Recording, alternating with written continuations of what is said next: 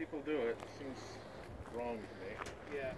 But then again, there's a few things that a lot of people do. And then I have seen the fastback groups.